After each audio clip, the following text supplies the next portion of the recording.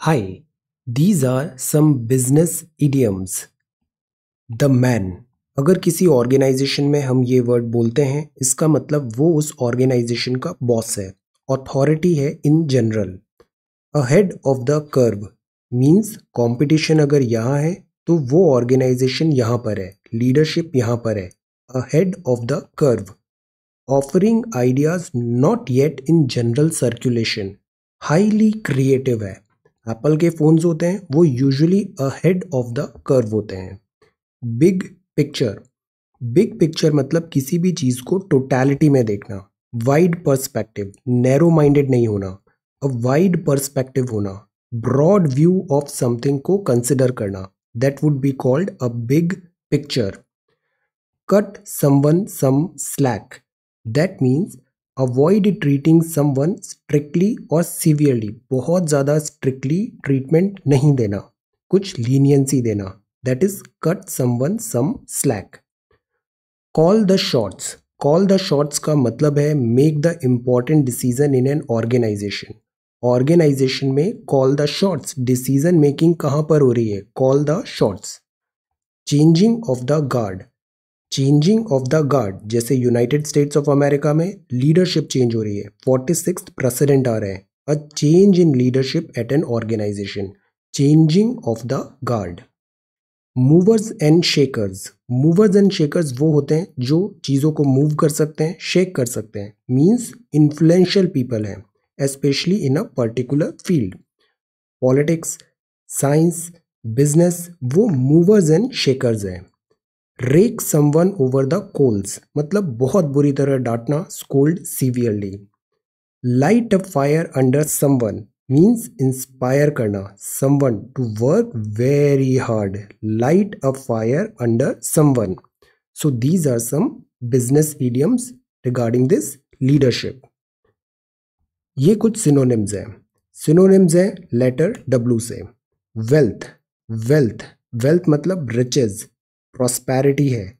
Assets हैं वहाँ पे. That is called this wealth weary है. वियरी का मतलब वो टायर्ड है फटिंग है, या फिर लेथार्जिक है. That is called this weary wild है. अगर कोई चीज़ वाइल्ड है ना, इसका मतलब वो अनसिविलाइज्ड है सेवेज है रैकलेस है. That is wild wild animals win win मतलब ट्रायम्फ होता है. जीत. सक्सीड होना. सक्सेसफुल होना. या फिर प्रिवेल करना that is win French Open था Rafael Nadal triumph succeed prevail Rafael Nadal की वहाँ पे जीत हुई. वाइज वाइज होना अच्छी बात है. वाइज का मतलब है नोइंग स्कॉलरली स्मार्ट है. Wisdom wise behaviour prudent behaviour wonderful wonderful means marvellous job है. इनक्रेडिबल जॉब है. स्प्लेंडेड वर्क है. Wonderful worn. वॉर्न मतलब वो यूज़ है, इम्पेयर्ड है, ओल्ड है, वो पुराना हो गया है। वियर एंड टीयर हो रहा है वहाँ पे। That is called this worn. Wrong.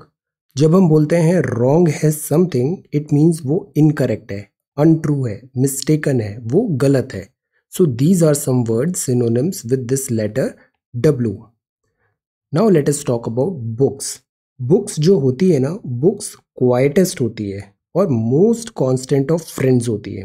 Books पढ़ने से जितनी लर्निंग आती है क्विकली आती है that is unmatched books are the quietest and most constant of friends that is why इतना एम्फेसाइज किया जाता है since beginning read books they are the most accessible and wisest of counsellors जो learning है teachings हैं counselling है, जो book से मिलती है ना that is again unmatched and the most patient of teachers books होती है, ये ह्यूमन का बेस्ट फ्रेंड है। हमारी प्रोग्रेस इतनी क्यों हुई सिविलाइजेशन में? बिकॉज़ हमने रीडिंग एंड राइटिंग सीख लिया। Reading and writing that is why reading writing comprehension language इस पर इतना ज़्यादा एफर्ट नेसेसरी है। Books are the best friends So this is 9th of November 2020 set number 73 5 minute English. Thank you so much for watching this video. Take care, study well and be safe.